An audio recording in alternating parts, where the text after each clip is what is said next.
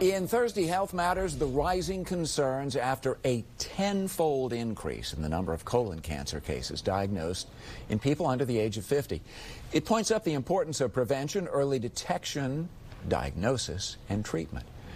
Once again, once found, though, an effective treatment for cancerous colon polyps is robotic surgery. Lots to talk about this afternoon, and we have an expert to help us with that. Joining us to explain how this robotic technique works, Dr. Craig Rezac with the VHC Health organization. Doctor, great to have you with us. Um, let's talk about the first part of this because it's not just uh, treatment. The important thing here is diagnosis. We want to find those potentially troubling colon uh, uh, polyps. And that's one of the reasons to go from age 50 to 45 for the initial screening. Uh, that's made a difference already, hasn't it? So thank you, Mr. Lucas, for the opportunity to talk about it. As you know, March is Colon Cancer Awareness Month. And so colon cancer is a significant uh, health concern in this country. It's the fourth most common cancer, but it's also the second most common cause of cancer related deaths.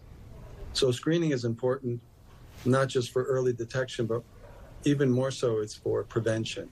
So, as you correctly stated, over the last decade, we've noticed an increase of tenfold in the incidence of cancer in, in people under the age of 50. So, we have traditionally been screening at 50, mm-hmm. but that age has recently been reduced to 45 because of this increase. Do we understand uh, what's um, behind the increase? Uh, because that is an alarming thing. Uh, we're, oh, absolutely. We're so told that this is a, a, a crisis, and, and that points it up right there. Absolutely. So it's, it's certainly multifactorial. Uh, environmental issues, genetic issues are all coming together. We haven't identified an exact cause, but we do know that we, we had to reduce the age of, of screening to, to at least 45. Yeah. And so that's that's why this month is important, and, and these kinds of uh, uh, um, initiatives are also important to get out the awareness to the public uh, you know, even today, only 60% of people that should be screened actually get screened. And that's a significant issue. Yeah, it really uh, is. Yeah, sc- screening for colon cancer, uh, the gold standard, of course, is colonoscopy.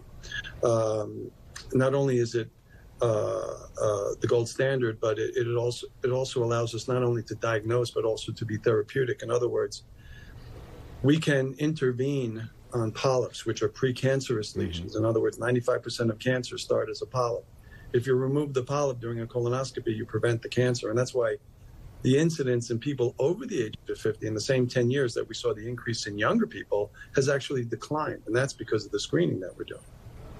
I and was fascinated. Wanna... I'm sorry, I didn't mean to interrupt. Uh, but, oh, no, but please. I was fascinated when we were talking in the break uh, about the use of, of robots increasing in, in just about all, all areas of surgical intervention.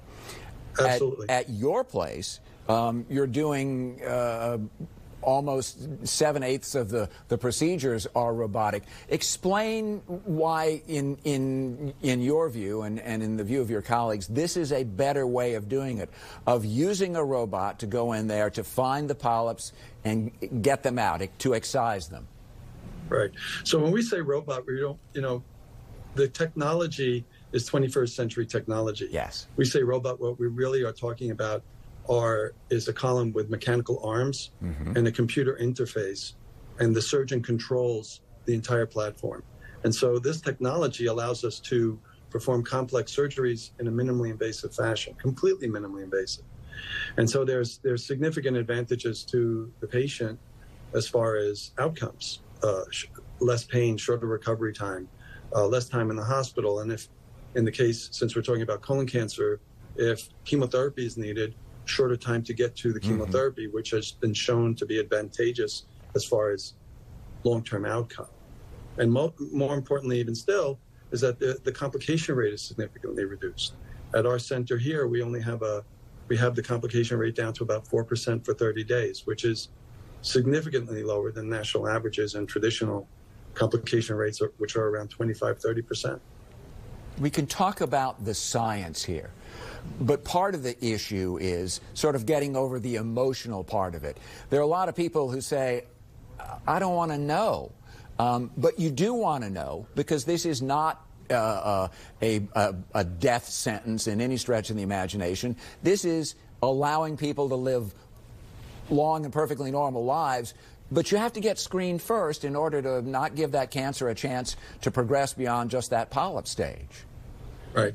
So again, screening for colon cancer is, is extremely important. And, and certainly, Mr. Lucas, like you said, there is a, a significant amount of stigma around a colonoscopy.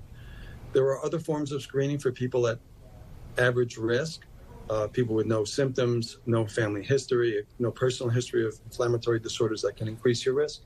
But uh, so we're talking about stool genetic testing, which is Cologuard. Mm-hmm. Um, certainly not as sensitive or accurate as colonoscopy.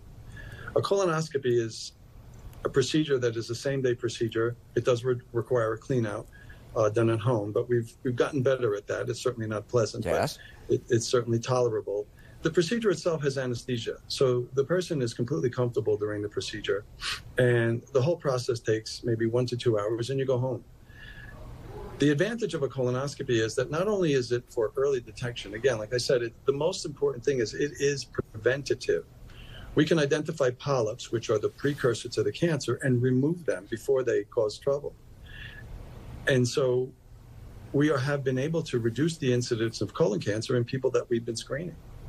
And so this is preventative, and it's not that simple, and that's the take-home message here. Is correct, correct. You know, I, I do this all the time, and I can't tell you how many people I, I, I do colonoscopies on for the first time, and they wake up and they say, "Dr. Rezac, it was it was really not a big deal. I don't know why I made such a big deal out of it. It was nothing at all.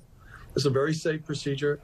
Um, it's very streamlined, and and really, there's no no reason not to be screened. Dr. Craig Rezac with the Virginia Hospital Center, VHC Health.